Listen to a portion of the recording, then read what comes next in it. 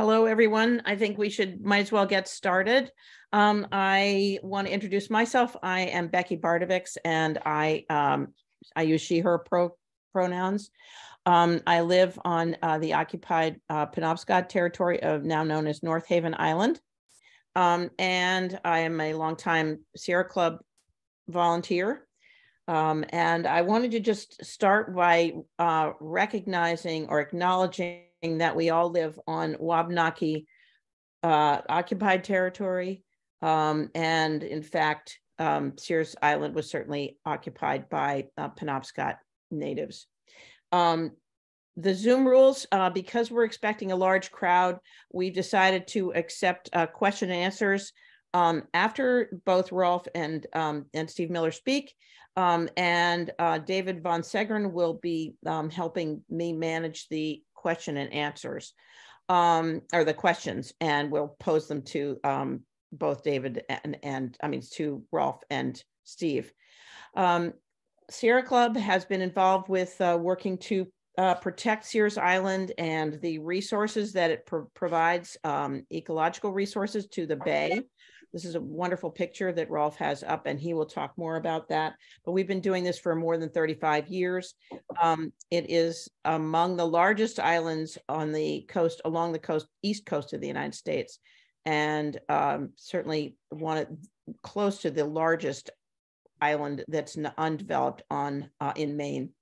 So um, without further ado, I would like to introduce Rolf Olson um, who is the uh, works who, who is a volunteer for Friends of Sears Island. And um, Rolf, do you want to go ahead?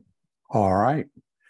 Thanks very much, Becky. Really appreciate this opportunity to help people understand what's going on and uh, try to take some action as well. I think to start I'd like to set the stage. As most of you probably know, the state of Maine would like to build, uh, uh, create a floating wind farm about 30 miles offshore in the Gulf of Maine. For this to happen, a port, or actually a system of ports, is required.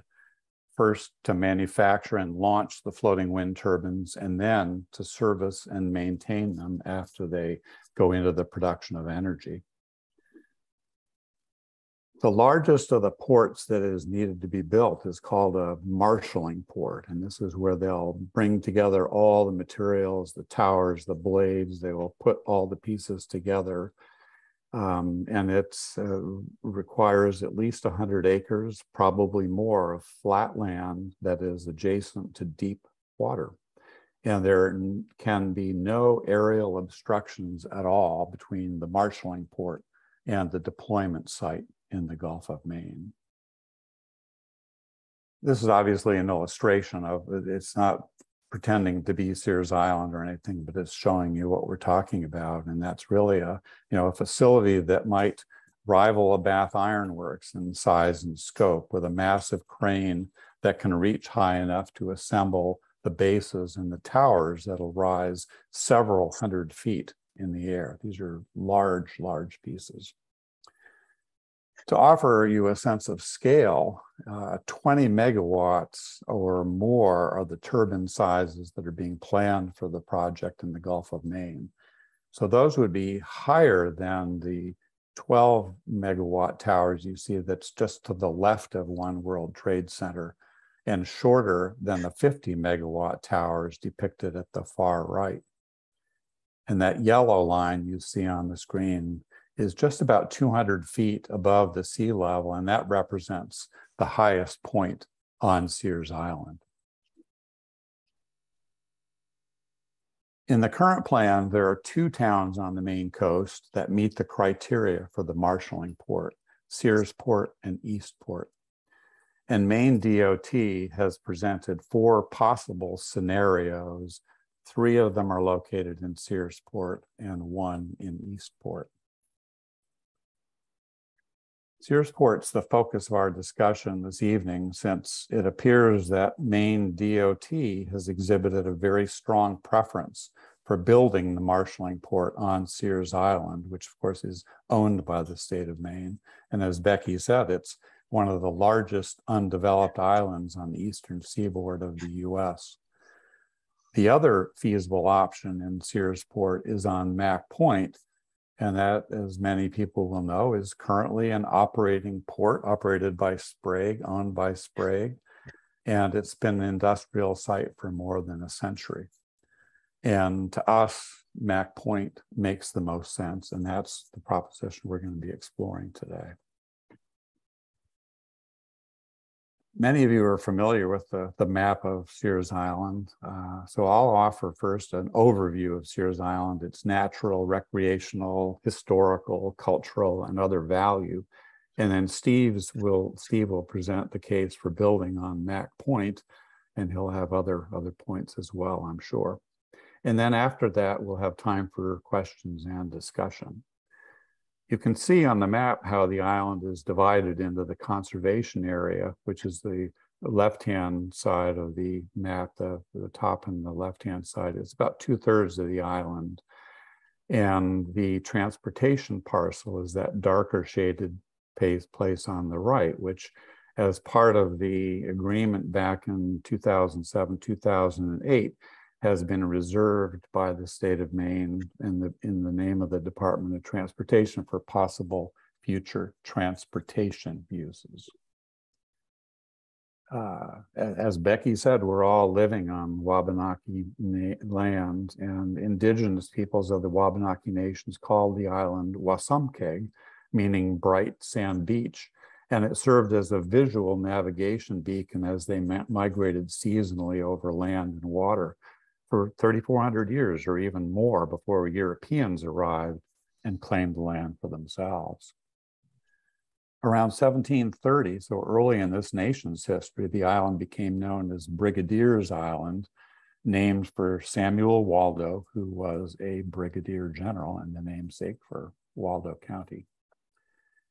The island has passed through multiple owners. Uh, in 1794, Henry Knox hired people to turn much of the island into grazing farm for oxen, cattle, sheep, and hogs. He also built a farmhouse, the remains of which are still visible just off the Homestead Trail. By 1806, several men owned shares in Brigadier's Island. And in 1813, David Sears bought out his partners, and the island became known as Sears Island. Farming continued on Sears Island for more than a century. While the Sears family never lived year round on the island, they did build a summer home there at the southern, near the southern end in 1853 that burned 40 years later. But the foundation stones for the, for the homestead and also an outbuilding remain. In 1905, Bangor Investment Company, part of Bangor and Aroostook Railroad, bought the island to develop a resort, which was never built. And farming the land ultimately proved not to be successful. So in 1934, the vacant buildings were demolished, and the island, as the island returned to a more natural state, local people really viewed it as a public recreation area, and they even used it as a drop off point for smuggling liquor during Prohibition.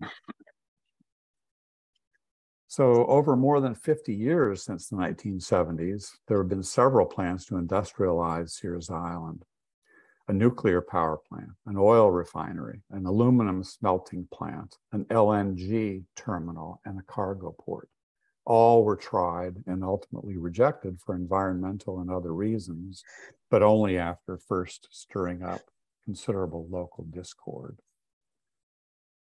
Sears Island continues to be a thriving terrestrial and marine habitat. Uh, it's a very popular birding site. Birders have reported more than 20, 225 species uh, spotted on Sears Island. And you can see that's 47% of all the bird species recorded in the state of Maine. It's a hotspot on ebird.org and a gem of Maine coastal birding in the region. And that's a quote from a book called Bird Watching in Maine. Sears Island is surrounded by eelgrass beds, especially on the western side of the island where the development would occur. Eelgrass serves as a nursery for fish, lobsters, urchins, clams, mussels, marine snails, and other mollusks. And once eelgrass beds are destroyed, they have a very difficult time coming back and they take with them all the species that they nurtured. This slide illustrates that purple block and the green area uh, show where the proposed wind port might be located on Sears Island. And it's overlaid on a map that shows a variety of wildlife habitat areas. And, and it's an area of pretty dense forest, and it includes wetlands and streams as well. All over the island, there are many large legacy trees among the maritime spruce fir and mature hardwood forests, and they provide habitat to birds, mammals, invertebrates, and understory plants. The vernal pools, they are a never ending source of amazement to the kids in our science squad program. And I'm always quite amazed by the sound volume when the peepers start up each spring. Sears Island has really become an important learning lab for people of all ages, but maybe especially for children. And the programs that are offered by Friends of Sears Island have become extremely popular over the last several years, providing a really rich dimension to what kids learn in the classroom or in homeschool situations. And they're all offered by, they're free or by donation. Sears Island has become an engine for tourism and the economy in more recent years as, as it's become better known in the region and beyond. More people have visited each year. We had a traffic counter on the island for three years, courtesy of Maine DOT. So we can see that during the summer, you know, we see 34,000 plus people in the summer. Uh, whenever I'm on the island and I see people standing at the map kiosk I ask them where they're from. And I've met people from many different states, several foreign countries England, France, Germany, Australia, Japan, just to name a few. And people come, you know, to Sears Island and they leave with great memories of, of visiting Maine. Um, on a recent visit, I met a couple from Washington, D.C., at the very south end of the, the island on the uh, uh, what we call the Scenic Lookout Trail. And he's a, a diplomat, didn't say what sort of diplomat, but clearly distinguished people. And I asked them how they came to visit Sears Island, and they said they did a Google search to find a place where they would stay for three or four days and not have to travel far to enjoy great food, some art and culture, some outdoor activities. So they stayed at Captain Nickels Inn in Searsport, which is a wonderful place. They ate at some of the best re- restaurants in Belfast and Searsport. Uh, they went to Hey Sailor, which was noted in Down East magazine as one of the best new restaurants in the state. Um, Marshall Wharf Brewery in, in, in Belfast. They, they really enjoyed themselves. And they said they'd think about retiring in a place like this. So how will the experience of visiting Sears Island change with an industrial port there? There will certainly be much more traffic over the causeway with heavy trucks and maybe several hundred workers coming and going every day. It's possible a new rail line over the causeway could be needed. Will there be new utility infrastructure, wires uh, to bring power for the, the manufacturing process? Will visitors experience the same tranquility they've come to expect on the beaches and trails? Will as many people visit the island? And none of this can be known yet, but it feels pretty safe to me to say that the experience of visiting Sears Island will be significantly diminished if the wind port is built there. So here's the, the question, you know, can a conservation area successfully coexist with a busy, noisy manufacturing port. And there's no simple path forward. There's no doubt that a very challenging process to decide lies ahead, although you know we'll we'll know more in the coming weeks. Difficult decisions will be made that are, undoubtedly going to leave some people disappointed or even angry. Um, I believe what we need to do is find the pathway forward that offers the greatest benefit in terms of finding a pathway to renewable energy resources while presenting the fewest possible obstacles. And I believe that site is on Mack Point for the wind port. And so now Steve will share his screen and I'll stop mine and Steve will take over. And Steve Miller is a longtime supporter of Sears Island. And uh, he is uh, also with Islesboro Island Trust. And I would like to hand it over to Steve. And can you uh, turn on your video?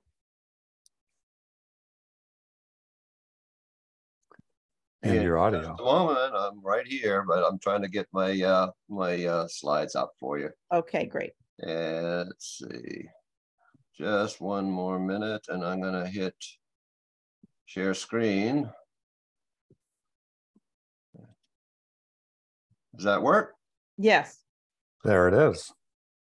Okay, well, first of all, I just want to thank uh, Becky and, and Rolf and Sierra Club Maine for uh, organizing this, this event this evening. And I want to apologize to you all because I really haven't had the opportunity to present anywhere near as elegant a uh, discussion as, as Rolf just, just did. It's going to seem a little bit jumbled because um, I really had to just cobble together a whole bunch of different disparate pieces of information, but I think it's information that you might find useful. I also hope that during the this evening, uh, if you aren't already, that you become convinced of three things. First, that Sears Island's current undeveloped natural condition provides important ecological services to the region and the state, especially for fisheries. Secondly, uh, once begun, uh, we believe, and I hope that you become convinced that the proposed development at Sears Island opens the door for expansive industrialization of Penobscot Bay, radically altering up to and probably more than 300 acres of the island's 940 acres and changing the entire Penobscot watershed forever. And thirdly, the build out an industrialized Mack Point consolidates industry in one location, economizes on existing infrastructure and replaces and remediates some of Mack Point's past outdated coal, oil, and gas history.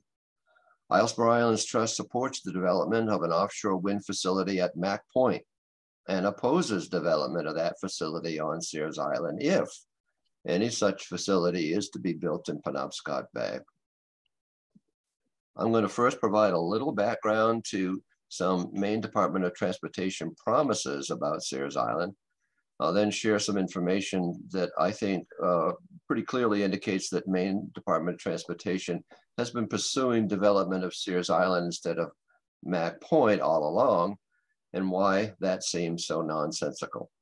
I'm really looking forward to questions and answers uh, and discussions uh, after this to perhaps help clarify what's going to seem like a jumbled presentation, I'm afraid. So for a little bit of background, you know, we all understand that climate change is the most serious challenge facing us all. I think we all understand that. Islesboro Islands Trust certainly understands that and supports and is engaged in efforts to address climate change, including renewable energy. But siting renewable energy facilities can and should be undertaken with great care.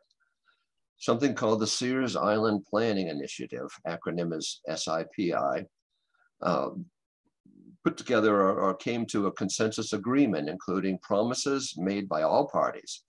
And those parties included the Maine Department of Transportation. Governor Baldacci uh, convened the Sears Island Planning Initiative in 2006.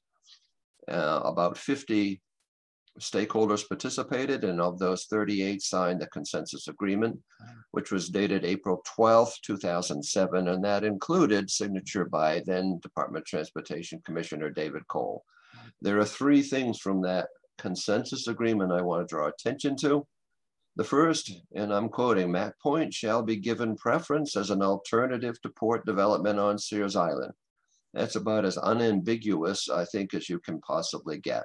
Mack Point shall be given preference as an alternative to port development on Sears Island. And secondly, the agreement included a fairly extensive list of things that would not occur, that everybody agreed should not occur on Sears Island. Things like LNG terminals and so forth. But one of those on that list was no soil harvesting. And the third uh, finding in the agreement is uh, that I want to draw attention to It is understood that none of the parties are endorsing in advance any proposal for a marine transportation facility. All stakeholders reserve the right to object to certain kinds of facilities.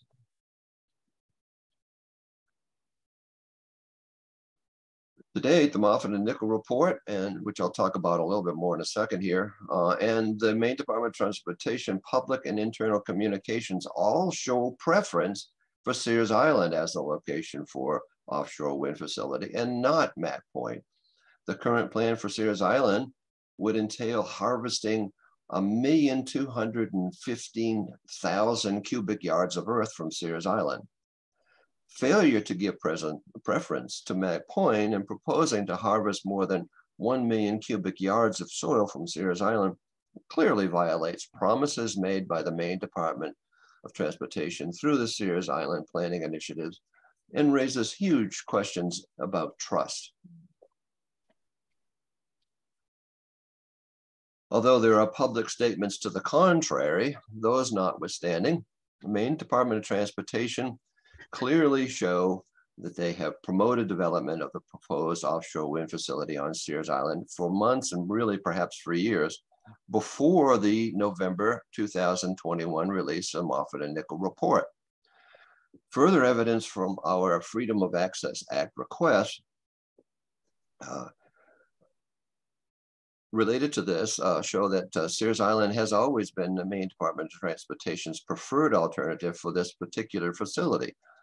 Uh, one example is that in March of 2021, way months before the Moffatt and Nichol report was even made public, a memo, an internal memo from uh, the Department of Transportation called for, and I quote, request for information to explore potential for partnerships that would focus on primary site Sears Island.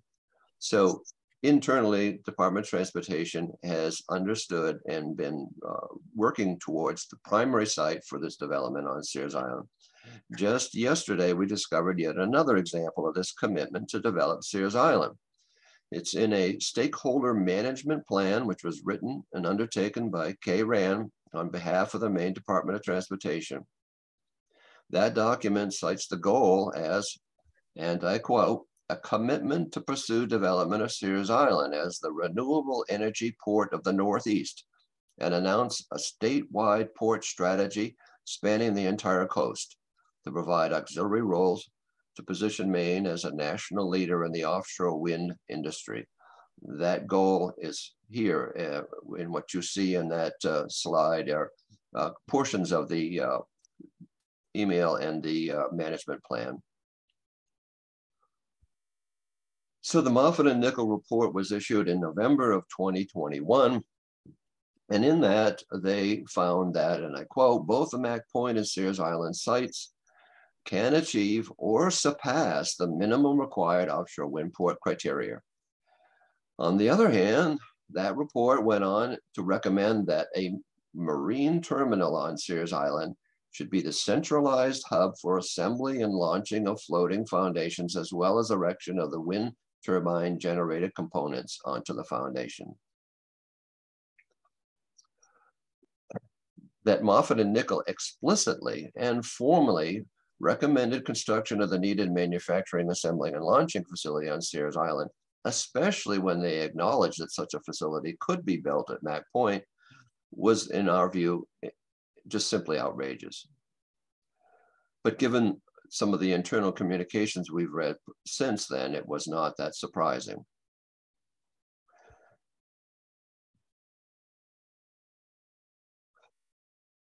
So where are we now at this point in time? There is no formal application being made for development of the offshore wind facility to manufacture, assemble, and launch offshore wind turbines. However, um, uh, Department of Transportation and the Maine uh, uh, Governor's Office of Energy have both made it very clear that they are working on applications for that facility and that we should expect those to be forthcoming. The Moffatt and Nichol report actually had a section outlining what the permitting process would look like. It is extensive. and uh, we have significant evidence that federal agencies will require mitigation for Sears Island destruction. One of the things that we're quite happy about is that Kyla Bennett, who was formerly with the Environmental Protection Agency during the cargo port proposal back in the 1990s, um, and is now with the Public Employees for Environmental Responsibility, has joined our strategic uh, discussions about how to proceed and will be uh, in a position to help uh, lobby federal agencies to, in fact, take a hard look at any application that cites Sears Island as a preferred alternative for development.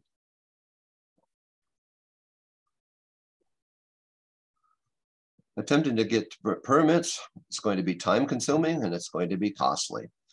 But even if successful, it, it will require extensive and enormous amounts of mitigation, which will further add to costs.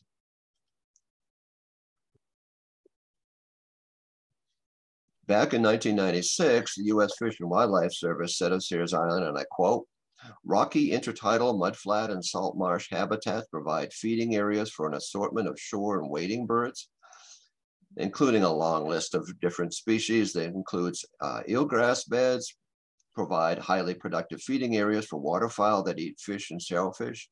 Surveys of the intertidal and subtidal habitats in the project area show very high levels of biological productivity, including softshell clam, rock crab, American lobster, sand shrimp, pollock, menhaden, winter flounder, sea urchin, and starfish all of which are critical components of the food web at Sears Island. There is simply no way to overestimate uh, the importance of Sears Island to the Penobscot Bay watershed and the ecology. Um, and this has been borne out by review of Sears Island in the past. We can expect that level of review uh, going forward.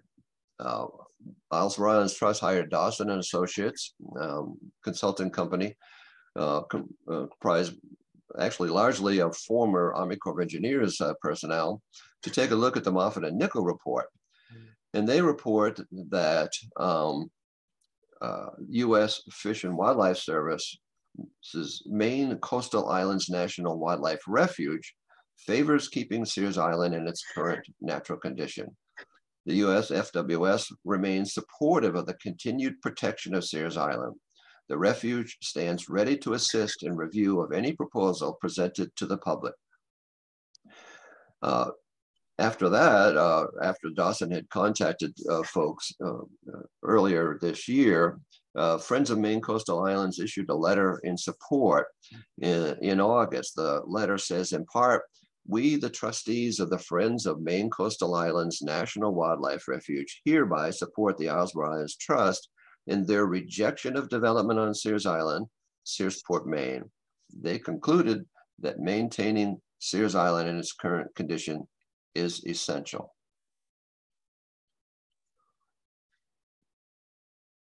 So one of the things that concerns us the most is the industrialization of Penobscot Bay that could, and I think we should expect would, uh, occur if the door is open to developing any kind of port on Sears Island.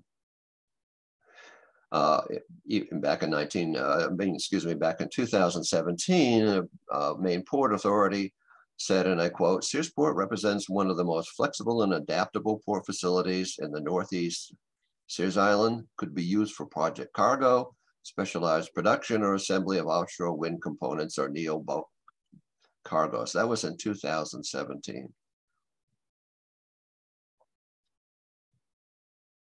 We believe that this latest industrialization threat is uh, actually is disguised as a green project. In fact, the Moffatt and Nichol report lists possibilities for expansion, as I'm showing here, as the top criteria for the recommendation to build the offshore facility on Sears Island rather than Mack Point. In fact, uh, Matt Burns, who is the Maine Port Authority Executive Director and the primary spokesperson uh, for the offshore wind manufacturing, assembling, and launching facility on more than one occasion, while promoting the Moffatt and Nichol report and its findings, referenced the likelihood of additional industrial and commercial development at Sears Island following construction of the offshore wind facility there. Remember, we're talking about over 300 acres. On the other hand, Mack Point is already industrialized. Building here consolidates heavy industry in a single location. Offshore wind at Mack Point would repurpose a portion of an outdated industrial facility with energy development for the future. The area outlined in black was uh, determined by Moffatt and Nichol to be available um, for the offshore wind uh, facility and uh, uh Sprague Energy is, is agreeable. The preferred location at Mack Point is over here, which actually historically supported two commercial piers.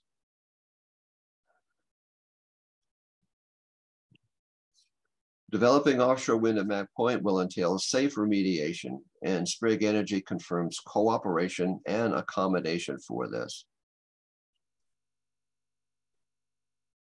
If we could convince the Mills administration of the points that Rolf and I have been trying to make this evening, we would save everyone time and money. I've got to admit that I'm not terribly optimistic. However, we really must try. But meanwhile, we also need to prepare for the far more likely scenario that Sears Island will continue to be the state's preferred alternative when they enter the permitting process. I hope you are convinced that Mack Point should be the location if any offshore wind facility is built in Penobscot Bay and that Sears Island should be protected in its present natural state.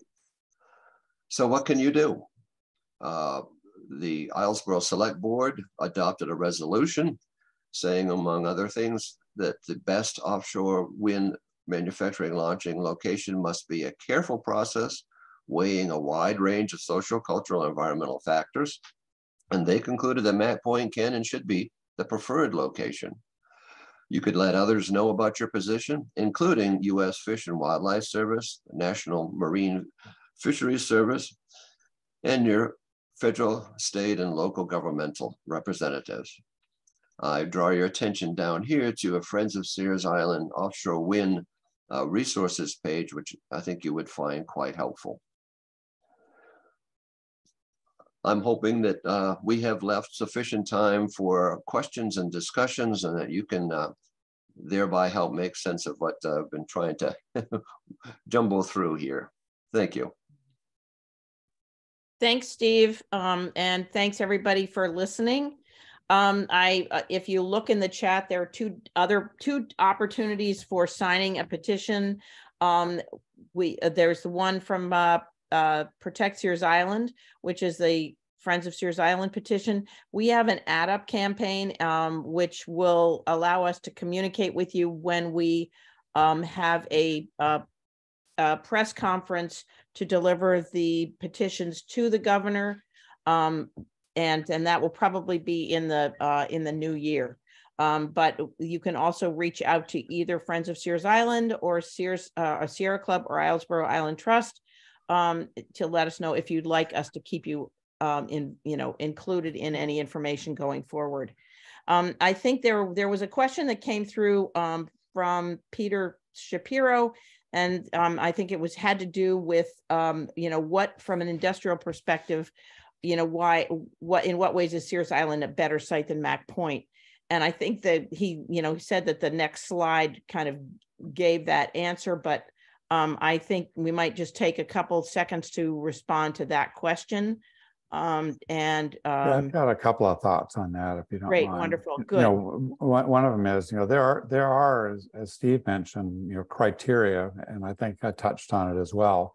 What makes a good place for it? And, you know, a big thing is large amounts of flat land adjacent to deep water. And, you know, Mack Point fits that fits that. Uh, it's some of it's occupied now by tanks and other buildings that would have to be either taken down or or moved. Sears Island represents 335 acres of land that could be flattened. And in order to flatten it, they will be needing, uh, again, as Steve mentioned, to carve out a big portion of that western edge um, and then compact it to you know, it would severely change the the the landscape. But it makes it better in that it's there's nothing there now except for trees and and and dirt. So it's and the state owns it. So there's no issue of you know figuring out who do we need to contact to either buy the land or lease the land or make it available to us. Steve has some thoughts too, I see. Well, I just thought it might make sense to go the other way and to mention that um, during the permitting process, especially uh, NEPA, National Environmental Policy Act uh, review, um, there will need to be a determination as to which of several options. Uh, well, first of all, the application has to identify several options for developing a, uh, offshore wind facility. And then uh, we'll have to determine which is the least environmentally damaging. And I think it's pretty clear to all of us that there is just hands down no real question about that, that uh, indeed the Mack Point is the least environmentally damaging option. Um, I wanted to just, uh, let's see, there are a couple of questions that have come in. Um, the question about dredging, um, when people, when uh, this person, Jennifer Craig, you know, speaks to people, they talk about the need to dredge Mack Point um, and not Sears Island. And I, I just want to say I, I do participate in the state um, or the uh, actually the Army Corps of Engineers uh, dredging calls, and Sears Port has to be dredged frequently. So this is not something that uh, doesn't happen. Um, and because partly because of the you know the river bringing sludge down the river um, and it depositing there rather than circulating around um, Sears Island and going out um, since we now have a causeway that stops it. Um, but the but there is always dredging there. So the question is how much dredging would be needed for Mack Point? And I don't know if either of you want to um, mention that or uh, I can go on, but I'm not part of the offshore wind port advisory group. So one of the you two could bring that to answer that question. Well, um, thanks, Becky. Uh, uh, not because I'm part of the offshore wind uh, public advisory group, but because uh, that really hasn't been discussed there particularly. But uh, but the Moffatt and Nichol report suggests that a substantial amount of dredging would need to be done over at Mack Point in order for the quay to be built over there, as they have envisioned it, which was sort of parallel to the shore. But um, but the thing is that um, uh, it's our understanding that uh, those uh, sediments could be uh, brought ashore and uh, deposited in an upland location. Uh, if it's suitable to be repurposed, they can mix it with one component or another, concrete and so forth, and actually use that sediment safely. I think so it isn't, in our view, so much a question of whether there should be any dredging or not uh, in order to utilize that Point, um, but whether or not that's a significant enough factor to, to make it, uh, say, the least environmentally damaging. But uh, there's every reason to believe that the sediment is not highly contaminated. Right now, there's a proposal to do maintenance dredging in the entryway and the sediments there have been found suitable for uh, disposal in an upland location. In, in, other words, they aren't terribly contaminated. So uh, I think there's reason to be hopeful that that would be the case with these other sediments um, and that uh, uh they could be reused. So uh, it's costly, there's no question about that. Um, and it's a factor that needs to be considered and, and approached carefully. But want to when uh, we were looking at the possibility of a huge, huge uh, uh, widening and, and, lengthening of the entryway uh, area uh, for Mack Point because of an interest in, in larger ships coming in. Uh, again, worked with Dawson Associates and found that dredging at the piers would, would satisfy those interests. And so we were in a position of actually encouraging dredging at the piers in order to keep this small sort of niche market kind of port open. So uh, I think that uh, uh, there's not, there's reason to be cautious about dredging, but not a reason to be fearful about dredging. And so then uh, the next thing was um, question from Edward Hodder. Uh, Cotter is that um, is it accurate to say that the only reason the state prefers Sears Island are related to cost? And um, yeah, why don't you take that one Rolf, you're muted. You're muted. Rolf. yeah. Thank you, sorry. Um, the fact is there are no solid costs that we can understand at this point.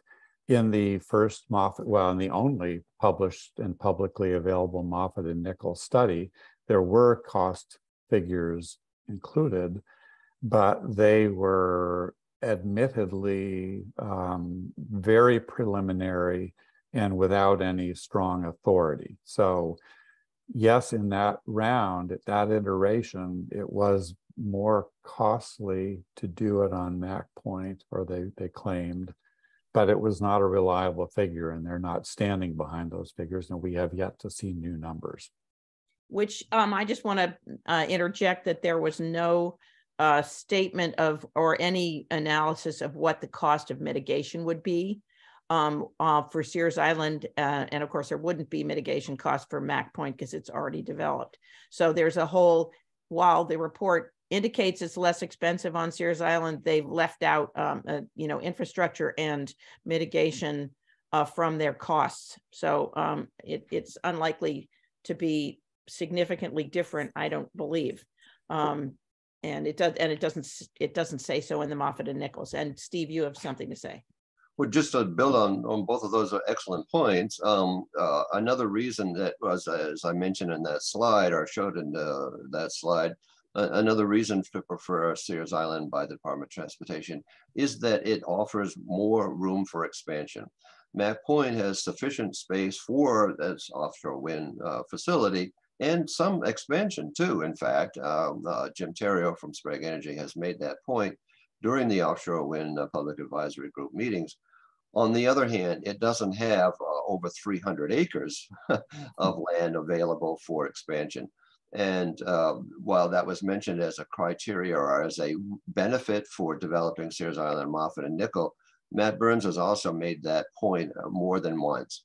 So, um, and in our review of internal communications, uh, the magnitude or uh, the grandiose magnitude of proposals for uh, this development uh, would would really benefit from more space at Sears Island.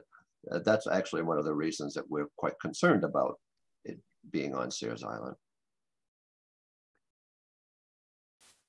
Uh, the next question that we had um, was about uh, mercury, but I think you may have answered that, Steve. That the um, analysis was that the that the soils in the dredged area could be used um, on uh, land. So I think I'm going to skip to the next question.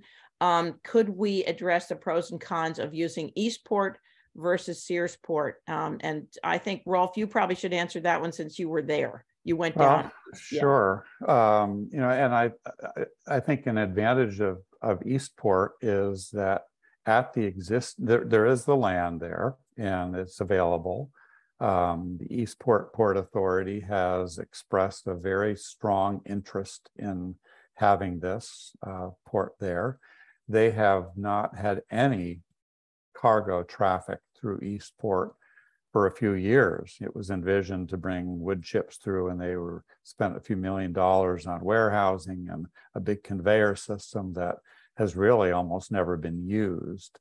Um, the big advantage of Searsport is there's 65 feet of water that would require absolutely no dredging, and there would probably be, you know, less probably environmental damage there. There was reference to the possibility that one of the um, salmon pens that's in the area might need to be relocated, um, but that was really the, the ma a major barrier. Um, and I guess the only other thing I would say is that Eastport is farther away by some 75 to 100 miles. I don't know the exact distance. So towing these behemoth floating wind turbines becomes more costly. And I, I suppose there's some risk involved in that too, towing that much farther. Thanks. Um, I think there's also the issue of the fact that leaving the a port of Eastport, you have to cross uh, into Canadian waters. Um, yeah, but that was pretty much minimized because any okay. shipping that had been done through there, there there are treaties in place that make it very easy to do. you know, I, again, I'm not, I'm certainly not a, a marine engineer, so I don't know the ins and outs. I, you know, it, it does look like it would be a, a difficult place to, to get through, but they say it can be done. So I'll take the experts um, at their word. I think the next question, unless I'm missing one, is that the pilot association is suggesting, I think you mean Sears Island is less, uh, is safer than Mack Point. Um, that which is a statement that I've heard uh, from them. Um, and I don't know if either of you want to address that. I think Well, that was for storm surge or something. Well, no, it was for this, this concept, you can probably describe it better, Steve, but it was like the prevailing winds. So the, the Pilots Association, as represented by David Gelinas, who is a tug captain, and, and I think he's, he's on the Offshore Windport Advisory Group with Steve and me and, and 16 other people.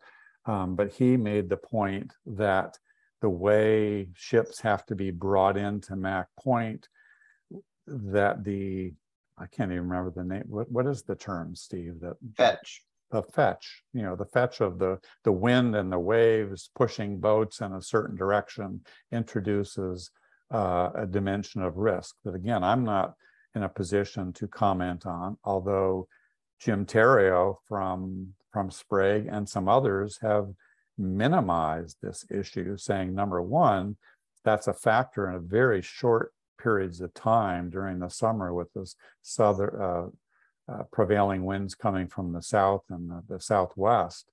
So it really shouldn't be an issue. And in fact, there were strategies considered of resituating the piers at Mack Point for this purpose in a way that would be, you know, resolve some of that issue. Just a little anecdote here. I, I was almost amused when I heard uh, Dave Gelinas mention that as a, as in his view anyway, a particularly important factor. Um, and, and, you know, it, it, it's one factor among any number of different uh, issues that ought to be looked at. But, but Fetch was uh, attempted to be used as an issue in the cargo port development uh, applications. And uh, the attorneys working on that at the time absolutely shredded the, the, the claim that it would be a problem. Uh, because there just simply are very few days out of any given year when the wind out of the south is going to be a problem.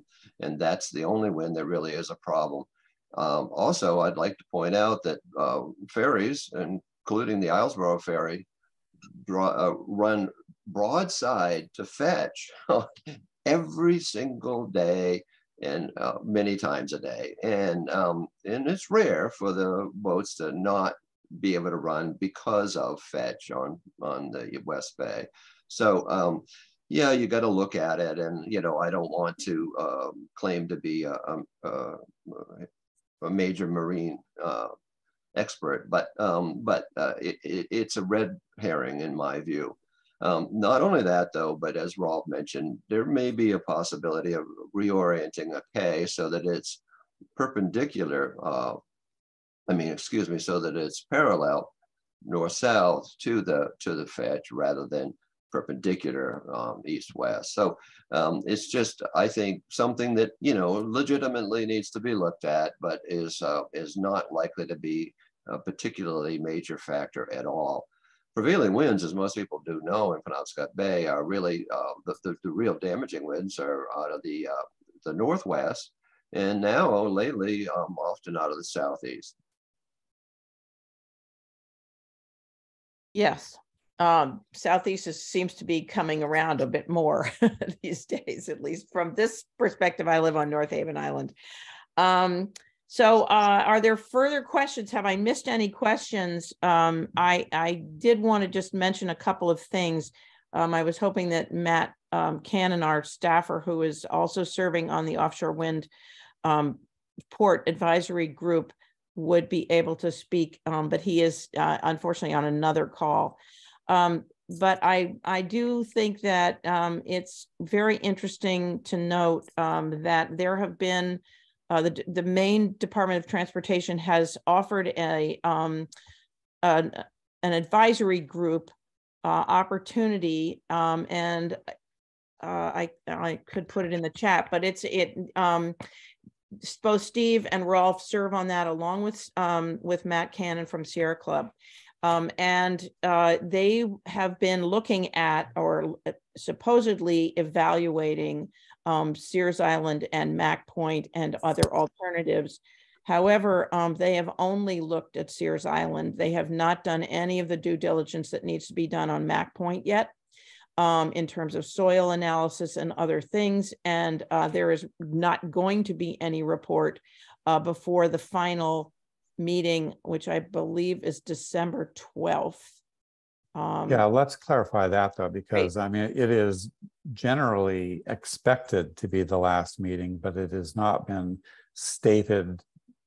There is a possibility that there could be another meeting after the first of the year. It seems unlikely, but it's possible. I do see there are a couple of other questions here. One is from Beverly about beyond the site itself, what else might be needed for MDOT to develop the acres? And on on Sears Island itself, you're right. Uh, the the footprint of the port itself would be that hundred acres, give or take, and probably give or take. And to get there, there they would need to build a new road along that western shore from the causeway to the site. And so that would be new. The, the plan that was initially stated indicated that the existing road, which many of you might be familiar with, we call it the jetty road that you know kind of goes up the spine of the island and curves to the west. That road would be a secondary access to the site, and the primary one would be going through the woods. So I've been told.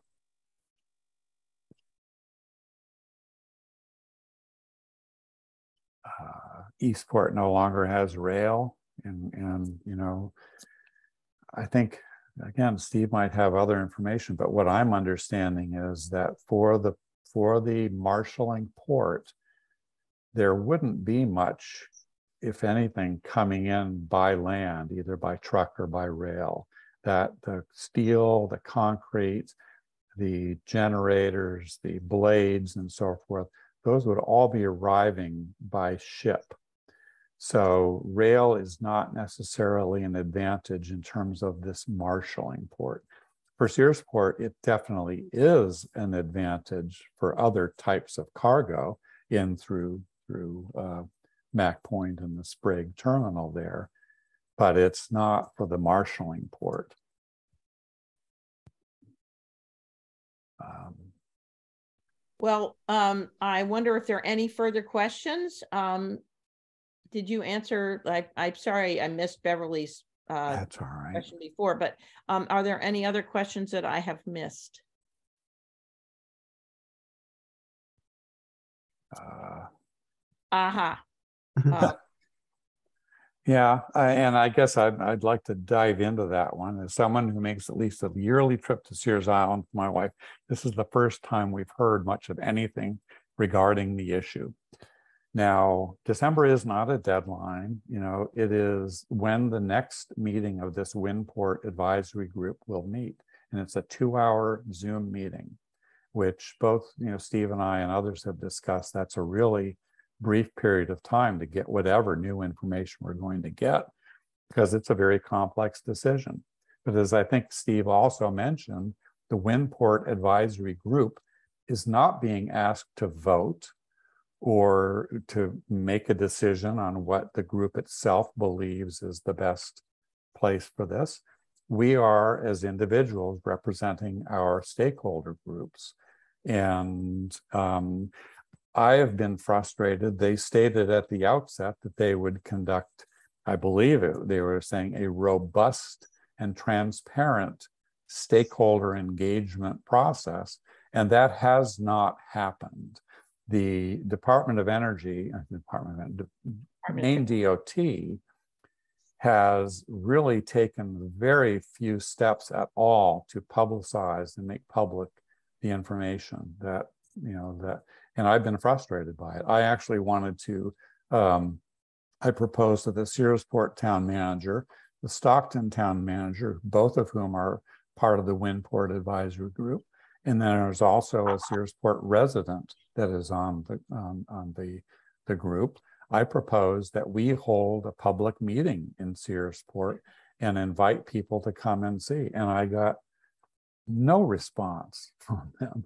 And you know, as a resident of Searsport and a taxpayer, I'm I'm kind of bothered by that. And I think I think that people in Searsport and Stockton Springs and Belfast and the neighboring communities need to understand what's happening here. And I want to go back and reemphasize that I personally and on behalf of Friends of Sears Island, we support all efforts to achieve energy, you know, re- renewable energy.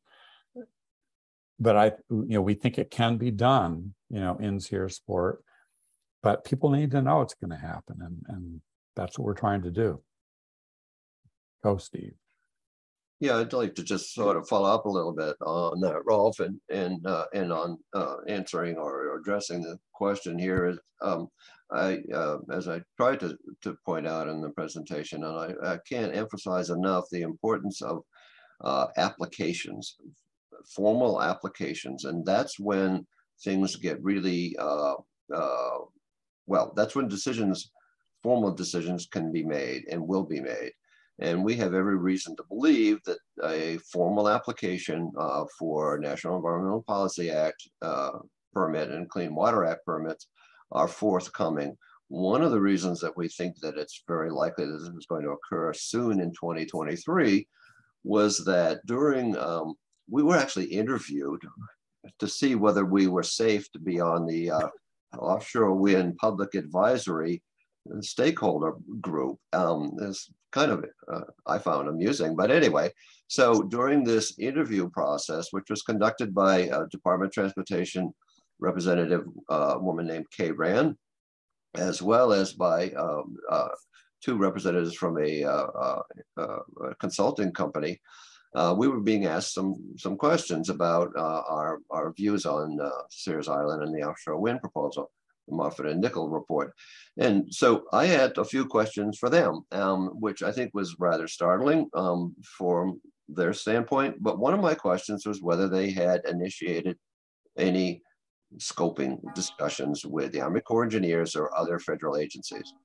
And the representative from the consulting company that was part of the Zoom conversation began to say, "Oh yeah, we've we've we've begun those scoping."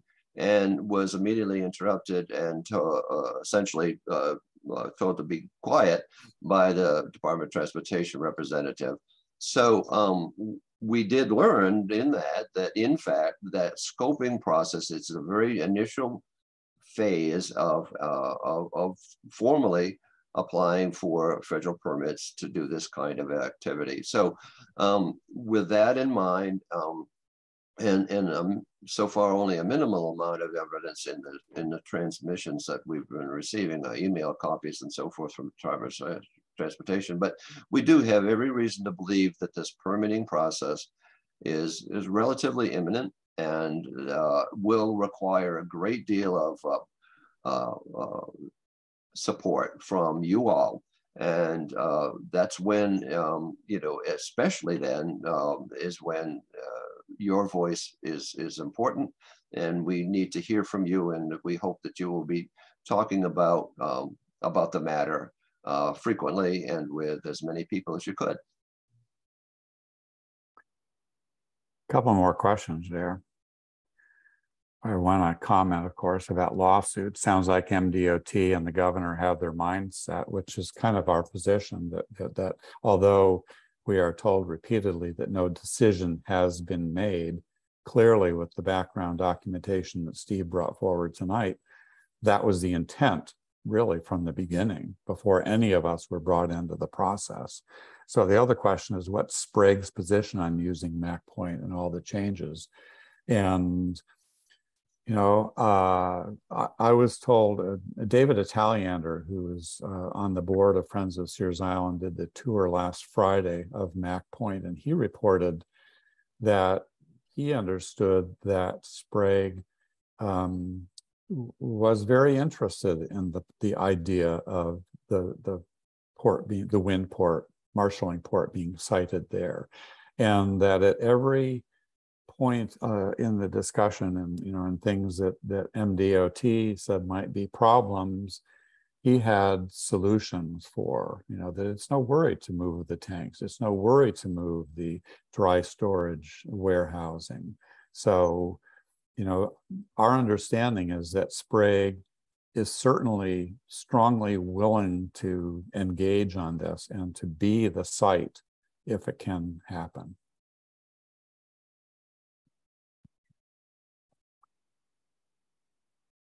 So, uh, Um,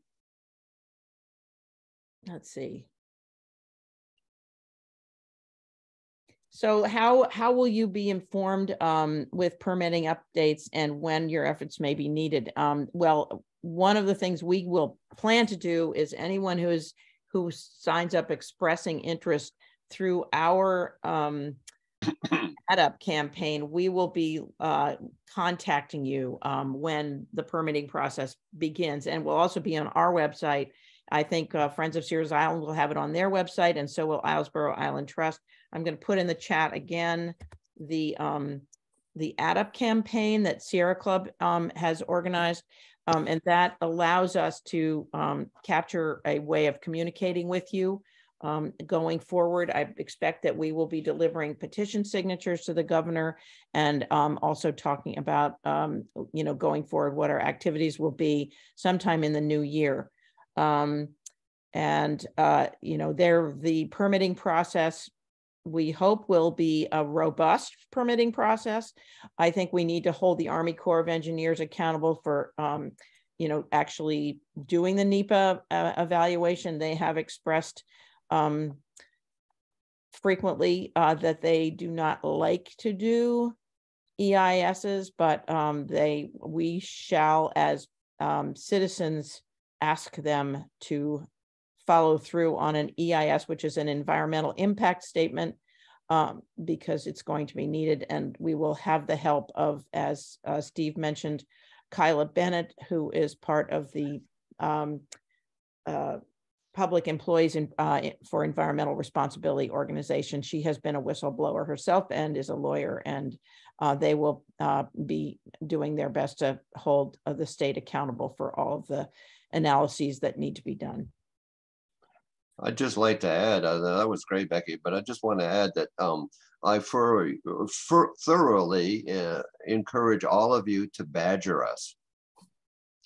Go ahead and uh, make sure that you know what you need to know when you need to know it. We will be trying to do that. And I think that, you know, um, most people will be aware through press releases and, and uh, internal communications from all of our organizations. But just in case, get in touch.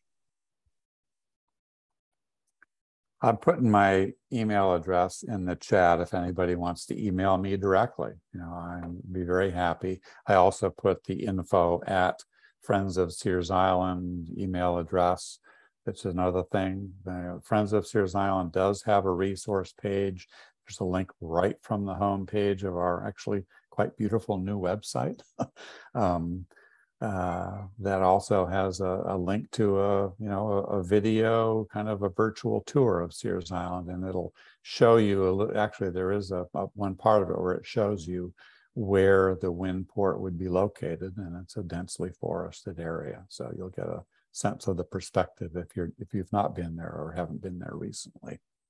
Um, I want to just um, note that it is after seven o'clock and it's seven oh uh, six. And so I, you know, we don't want to hold people longer than they are yeah. interested in staying. But um, if there are further questions, please throw them in the chat.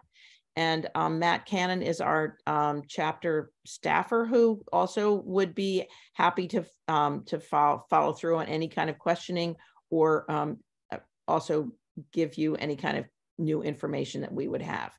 Um, and we have, uh, I, I also put a regular email address for the chapter, maine.chapter at sierraclub.org in the chat as well. And um, my inbox is so bad that I'm hoping that the chapter will send me questions directly. So I'm not giving you mine. but um, if uh, want if folks want to stay on a little bit longer, great. Um, otherwise, I just want to thank all of you for joining us. Um, Wasumkeag is a beautiful spot um, in the bay.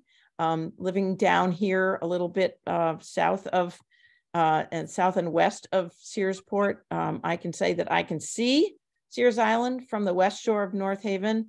And what happens on Sears Island and in the upper part of Penobscot Bay affects everyone who um, benefits from the resources we have in this bay.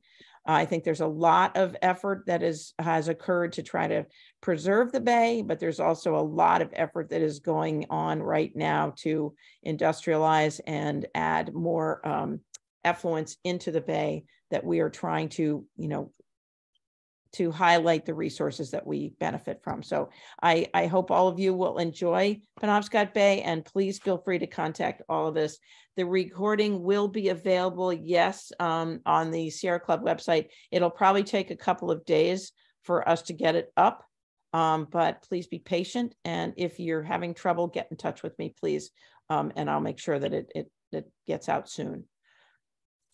Thanks, everybody. I appreciate your kind attention, wonderful questions, and, and interest. So Thank thanks you. for thanks everyone for joining, and I'm glad that we um, introduced it to new people. And uh, feel free to ask ask away.